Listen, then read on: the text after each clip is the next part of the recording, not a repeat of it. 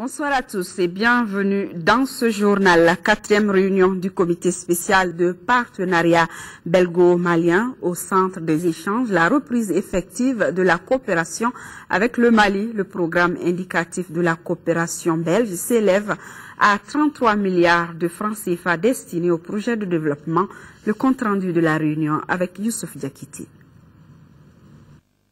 La présente réunion évalue l'état de la coopération belge au Mali. Elle permettra d'examiner l'ensemble des questions intéressant la coopération bilatérale entre les deux pays Mali-Belgique et de rechercher des solutions aux différents problèmes rencontrés lors de la mise en œuvre des projets et programmes dont le montant s'élève à plus de 33 milliards de francs CFA en cours d'exécution depuis 2009. En février dernier, notre ministre de la Coopération a donc décidé d'une reprise graduelle de la coopération gouvernementale belge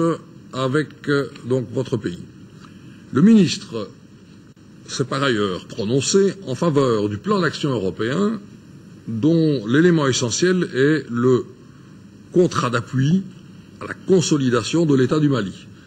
qui devrait donc vous apporter une plus grande prévisibilité en matière d'aide et ainsi vous permettre d'assurer donc à court terme les services de base et la cohésion sociale nécessaires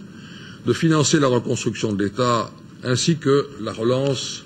économique et l'emploi. Malgré les événements, la Belgique est restée présente au Mali en continuant son assistance de façon flexible et pragmatique à travers des activités d'appui direct aux populations locales, notamment dans les domaines de la sécurité alimentaire et humanitaire. Il me plaît d'exprimer ici toute l'appréciation sur le directeur des autorités maliennes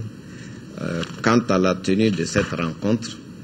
qui marque euh, véritablement l'amorce de la reprise de la coopération belge au développement dans notre pays.